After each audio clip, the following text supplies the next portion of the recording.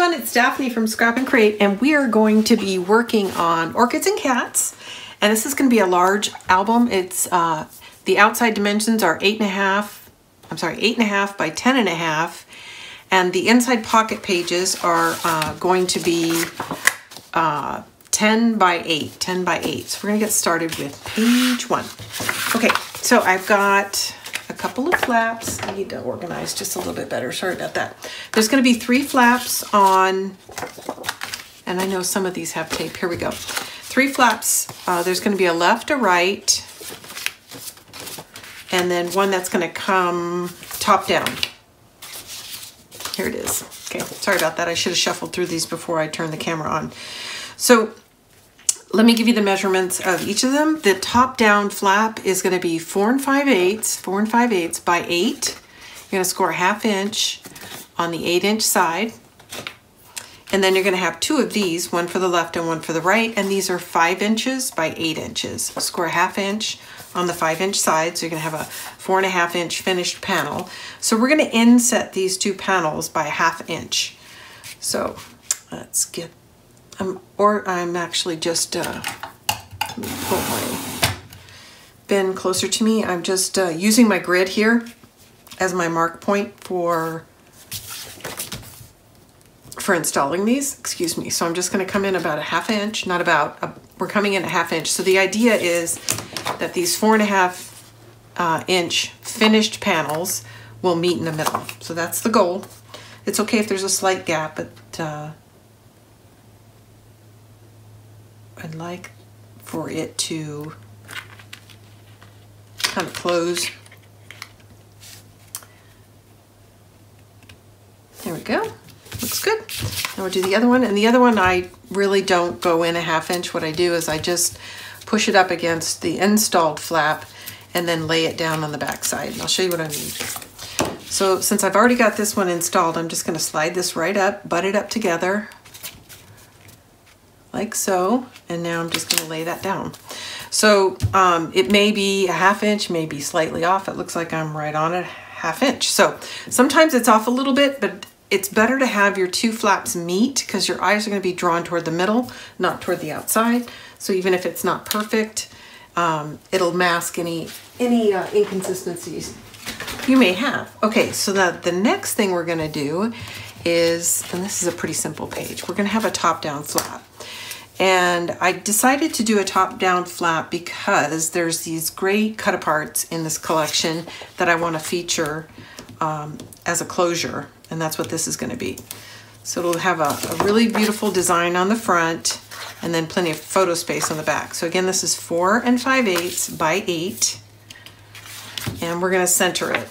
So I'm going to draw my center line using my grid, which I, I left my uh, Tim Holtz, one, two, three, four, one, two, three, four.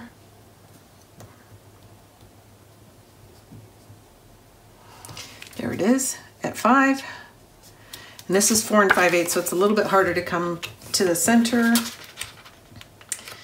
because you've got that extra eighth. So four and a half.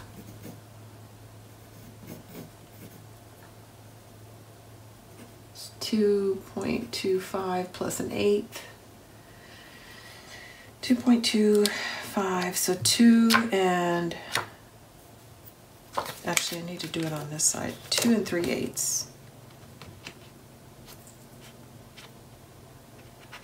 Okay, now I'm just gonna line up these two dots.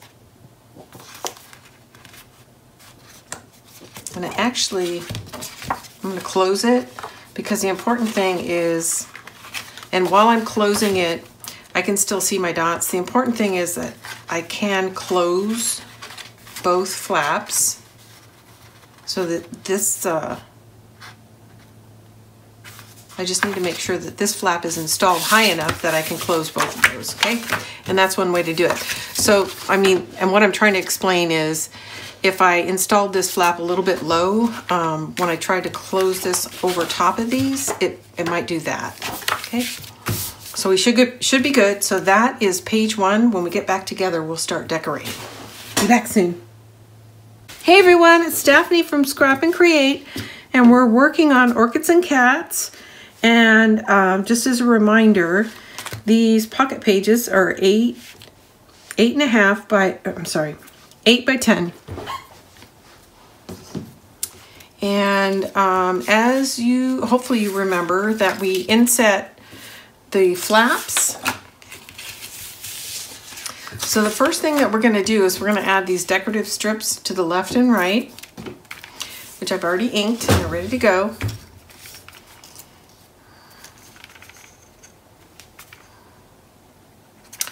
Uh, it's that time of year. We get these stupid little gnats. Um, I have fruit trees, so they sneak in with me and the dog. And they followed me in here. Anything that smells sweet, and I have these candles in here that smell kind of like passion fruit. They smell very good, but it attracts those stupid flies. So you might see them flying in and out of our shot. Anyway, so if you recall, we inset the flaps, the left and right flaps a half inch. So we're putting a decorative strip on either side. and I mentioned in uh, one of the other videos, but I'll mention it again. Um, it is June 1st here in San Diego, and um, I live about, I don't know, maybe three or less than three miles away from a military base here in San Diego, um, Miramar. And they're getting ready for um, their sky show. So you may hear some aircraft coming and going in the background. I'll do what I can to minimize that, but it is a very busy time for them. The best light I get is during the day, even with studio lighting. So I like to record during the day for a couple of reasons. One, for lighting.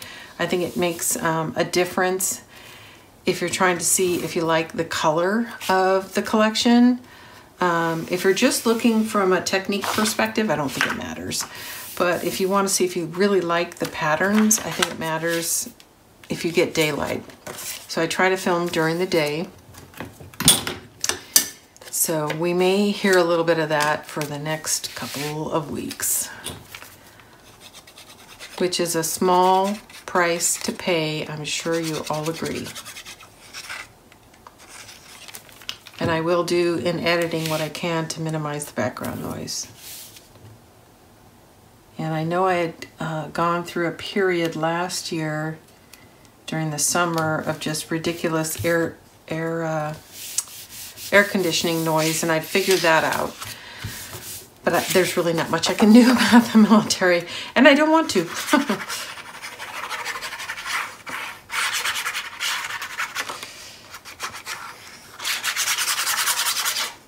so, another interesting thing going on, at least interesting for me, is um, my son is getting ready to graduate high school. I'm very excited for him. And uh, that's happening today's June 1st. That's happening on June 13th, which is kind of odd. It's a Sunday. Um, but they're doing things a little differently. And I'm just thrilled that he's actually getting a graduation ceremony, which none of the kids got last year from his high school. So that's exciting. We're going to do it at the baseball. Um, we have a pro professional baseball team, San Diego Padres. So we're going to do it at Petco Park, which is where they play. And I'm very excited for him. So that's what I'm going to be doing this weekend. Okay, so I had this strip left over, uh, piece of scrap, and I actually think it's, that didn't stick. From a spare piece from the back of this page that I trimmed, but I'm not real sure anymore. Anyway, I had this piece and I cut it in half. No, it's from this. It's from the back of this which are the two pieces that I'm going to use on the flaps. So now um, this just happened to be a strip left over from the back of this. So I trimmed that down to one inch and now we need to make trim this to fit, which I waited to do until I installed this, which is pretty typical for me. But if you're new, you'll know that. So I really love the Stamperia papers. I think they're beautiful. But also, one of the things that I've found is that they can be a little difficult to layer because it just gets to be too much. So typically when I do a Stamperia um, album, my mechanisms are not as complex for that reason because I think it's too hard to do too much layering. You lose too much of the paper, if that makes sense.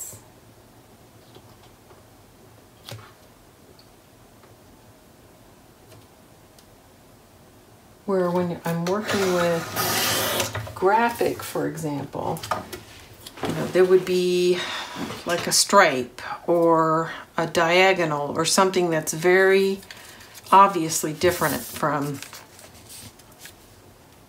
the pattern I'm working against. And I think that makes a big difference. So it looks like I need to trim just a little bit more. Yeah. So ideally I want the same visual gap that I have here. I know I need to take a little more off on one side than the other. And this I'm gonna hand trim. I'm gonna use a ruler and a blade.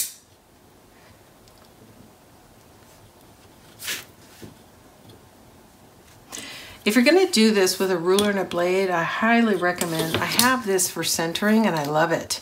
It's not great for trimming because there's no cork on the back. You need a cork on the back to hold your paper in place. And the only reason I use the ruler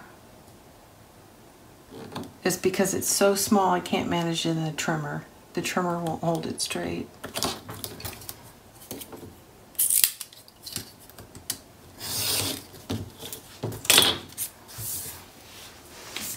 We'll add a little ink on there. We should be able to put this right down. Let's see. Yep. It's actually a little more than I wanted. I'm going to try it the other way. I think that works.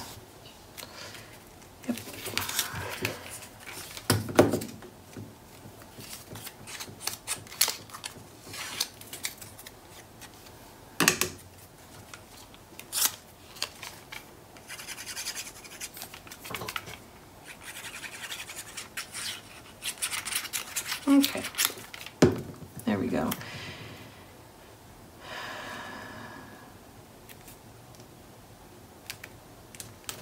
So this is bigger. This turned out to be more of a gap than I wanted. So I'm going to cheat and I'm actually going to trim a little bit of the cream off. But it's unless you feel very confident with your trimmer, I wouldn't recommend it.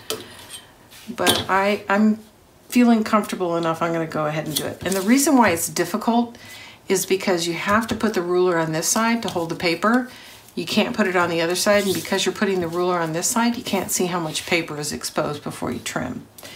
So it's a little bit of a challenge, but I'm gonna do it. There we go. And that, honestly, is just experience. Um, you just have to do it and figure out, you know, where to put the blade. So to me, that looks a little better. It's not perfect, but I can live with that. Okay, now these are two pieces that are going to go here.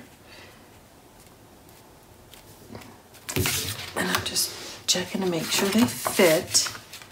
And we really do need a contrast sheet. There we go. Looks good.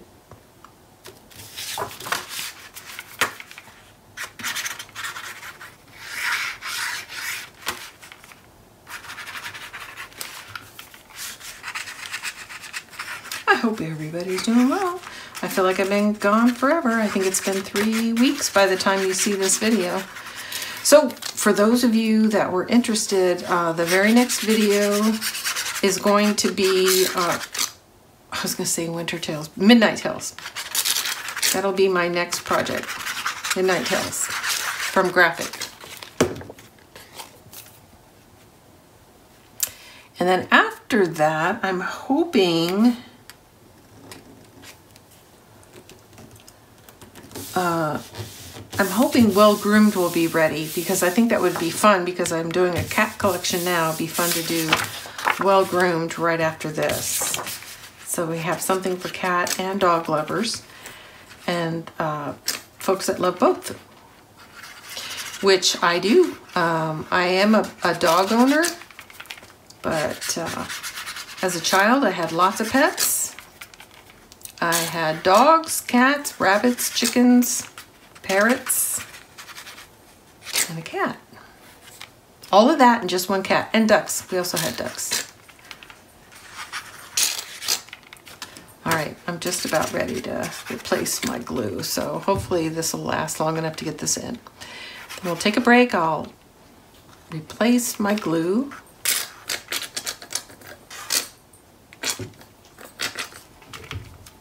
And then we'll continue working on the album.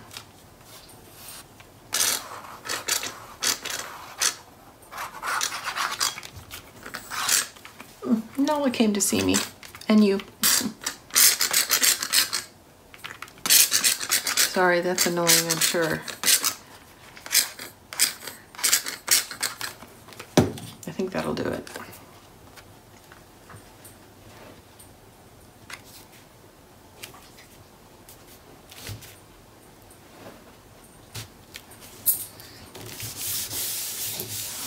So this is from the 12 by 12 collection pack and it's a continuous pattern. So the pattern is, the 12 by 12 covers uh, these four uh, pots and actually a fifth pot.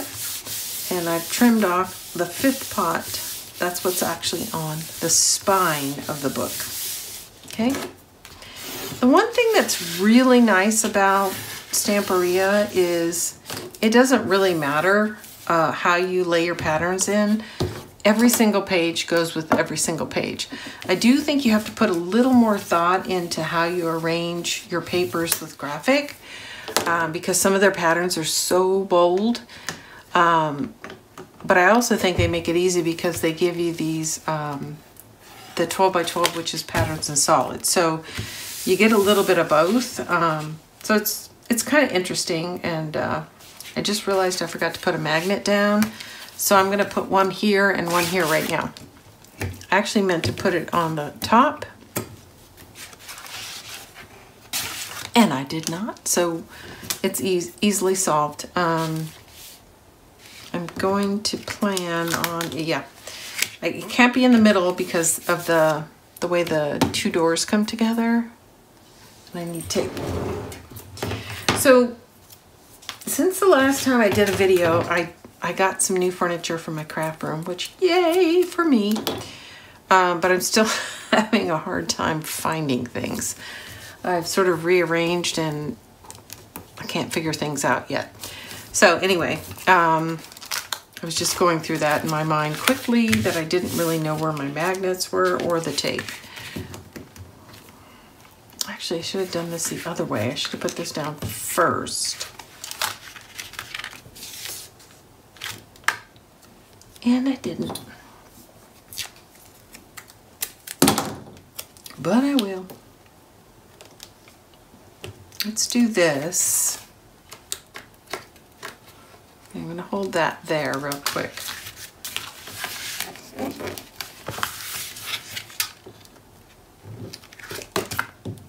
Now I'm going to close this and pick it up.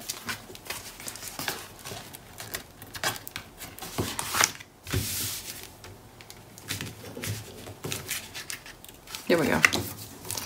That's in and that's in. Okay. Now we can go ahead and put our papers on the other side.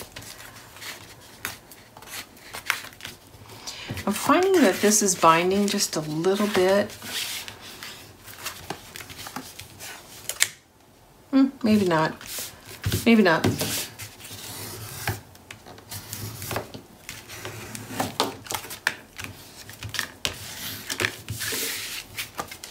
No, it's okay. Okay, so what I talked about when I first installed this that sometimes uh, one of the other options is to add a second um, score line to create a slight gusset. Um, and that's not a bad idea, but I didn't do that. Um, so if you choose to do that now, you know, might be a good idea.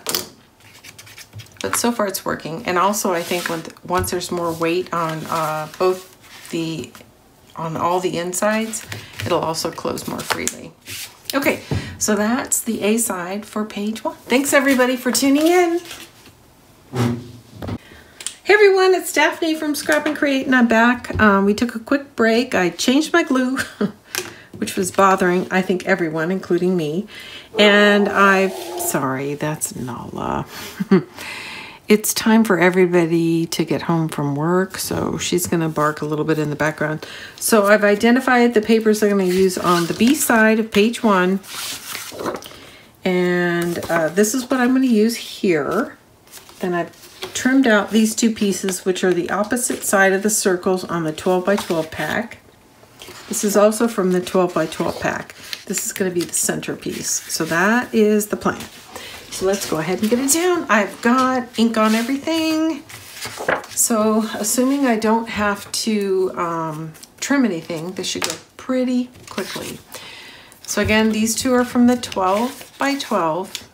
This is also from the 12 by 12. But honestly, I can't remember what the rest of it looks like. Oh, it's the one with the pots. So this is the flip side of the pots. There we go. Which is what we're using on this side. So there's the pots, there's the flip side.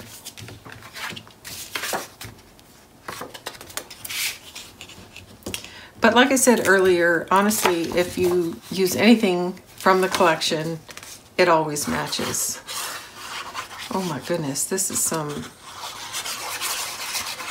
serious flow. Since I changed my glue, I gotta be careful. I forget that uh,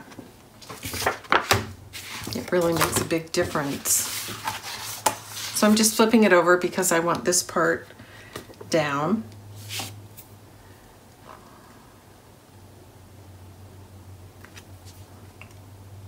and the trim piece on the top.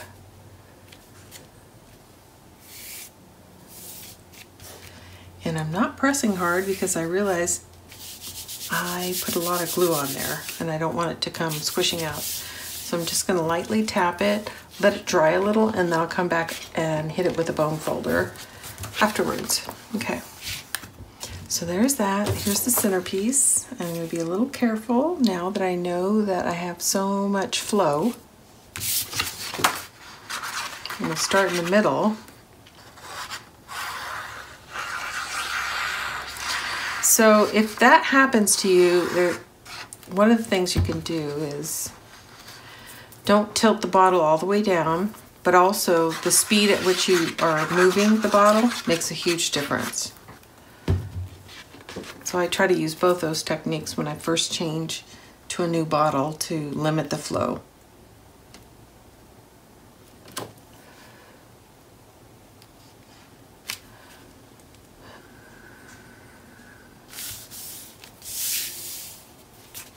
Because I don't like it when the glue squishes out. Even though it dries matte, you still can see it a little bit. It's better than anything else I've used before, but you still can see it. Okay. Now these two are cut apart from a 12 by 12, so I want to make sure that I put them in the same order. So I just put the sides up together, make sure it's a continuous pattern, dry fit, and then we're to go ahead and put it down. Okay. So I'm going to be careful not to hold it directly down because then I get too much flow. So I'm going to keep it at a nice angle and that will reduce the flow.